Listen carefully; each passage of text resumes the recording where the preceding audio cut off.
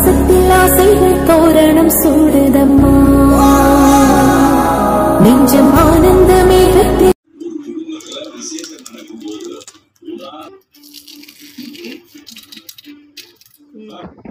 Hi இன்னைக்கு நம்ம வீட்டில் இருக்கிற அரிசியை வச்சு இந்த வெயிலுக்கு சும்மா சிம்பிளாக ஒரு ஸ்நாக்ஸாகவும் இல்லை சாப்பாடுக்கு தொட்டுக்காவும் யூஸ் பண்ணிக்கலாங்க. இப்போ நான் இந்த அரிசியை வந்து ஒரு நாலு மணி நேரம் இந்த கிளாஸில் ஒரு கிளாஸ் வச்சுருக்கேங்க. ஊற வச்சு இது நல்லா ஊறட்டும் ஒரு பக்கம் இருக்கட்டும். இது சூப்பரான டேஸ்ட்டில் இருக்கோங்க. நான் சொல்கிற மாதிரி ரேஷியோவில் நீங்கள் ஃபாலோ பண்ணி ட்ரை பண்ணி பாருங்கள் அரிசி நல்லா நாலு மணி நேரம் ஊறிட்டு பாருங்கள் இந்த அளவுக்கு சாஃப்ட்னஸாக இருக்குது இப்போ தண்ணி இல்லாமல் நம்ம ஒரு மிக்ஸி ஜாரில் ட்ரான்ஸ்ஃபர் பண்ணி அரைச்சிக்கலாம் நைஸாக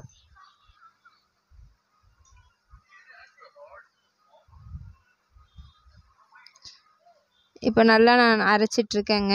ஸோ நல்லா நைஸாக அரைஞ்சதும் எடுத்து காமிக்கிறேன் பாருங்கள் எந்த அளவு பதம் வரணும்னு சொல்லிட்டு. இந்த அளவு இருந்தால் ஓகேங்க.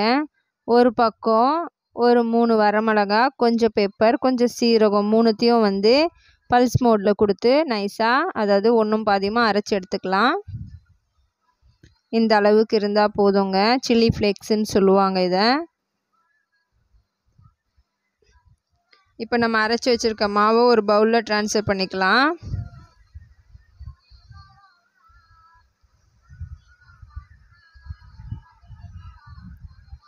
இப்போ இதுக்கு தேவையானது நம்ம கொஞ்சம் உப்பு சேர்த்துக்கலாங்க. அதுக்கப்புறம் பார்த்திங்கன்னா நம்ம அரைச்சி வச்சுருக்க இந்த சில்லி ஃப்ளேக்ஸும் இதோட சேர்த்துக்கலாம்.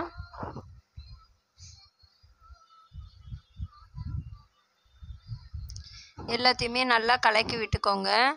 இதோட கன்சிஸ்டன்சி எப்படி இருக்கணும்னு சொல்லிட்டு நான் இப்போ காமிக்கிறேன் பாருங்கள்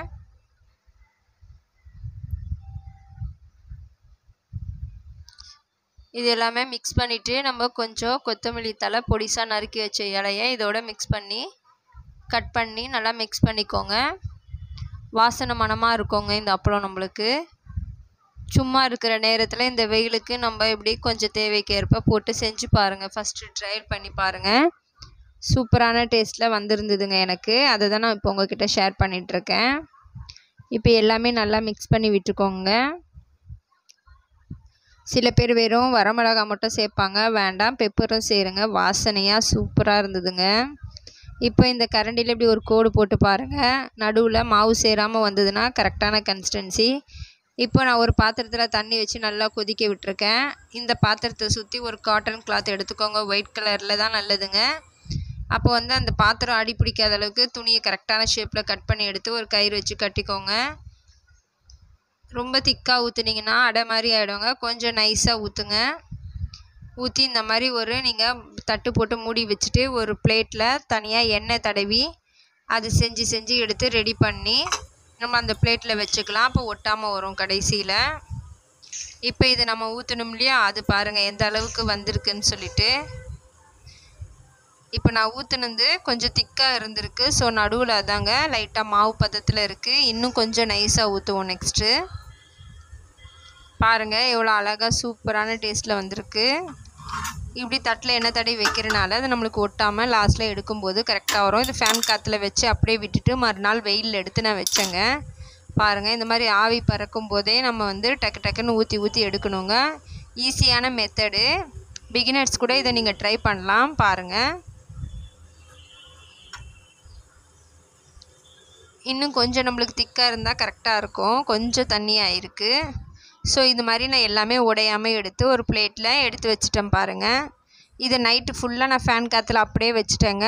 ஒரு லைன்ஸ் கிளாத்தை போற்றி மறுநாள் நான் வெயிலில் வச்சு எடுத்திருக்கேன். ஒரே நாள் வெயிலில் தாங்க பாருங்கள் எந்த அளவுக்கு நம்மளுக்கு அப்பளம் சூப்பராக வந்திருக்கு.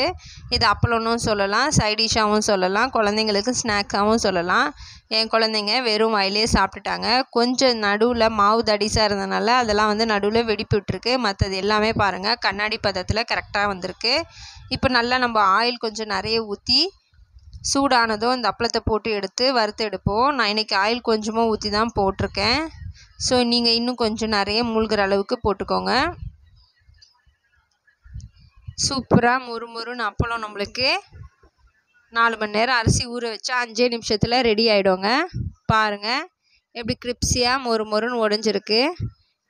இது போல் நீங்களும் ட்ரை பண்ணி பார்த்து எப்படி வந்ததுன்னு சொல்லிட்டு கமெண்டில் சொல்லுங்கள் ஃப்ரெண்ட்ஸ் இதே போல் மறுபடியும் நாளை ஒரு வீடியோவில் சந்திப்போம். Thank you bye